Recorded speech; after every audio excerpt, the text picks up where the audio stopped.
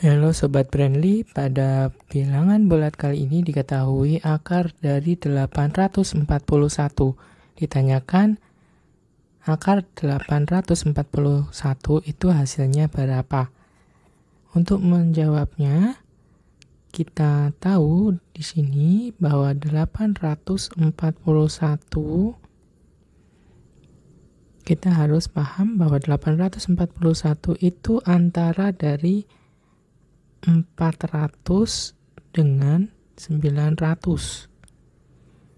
Akar dari 400 itu adalah 20, sedangkan akar dari 900 itu 30.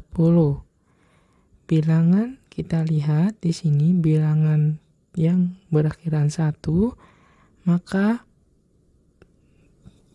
pangkat berapa yang hasilnya akhir atau angka satuannya adalah 1.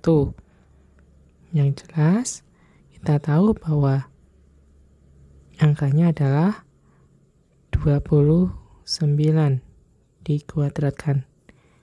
Sehingga dapat kita tulis juga 841 ini itu sama dengan 29 dikalikan 29 atau 29 dipangkatkan 2 sehingga akar dari 841 dapat kita tulis sebagai akar dari 29 dipangkatkan 2.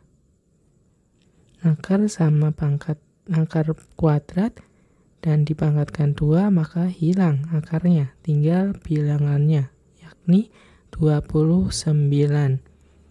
Dengan demikian dapat kita simpulkan bahwa jadi, akar dari 841 itu sama dengan 29.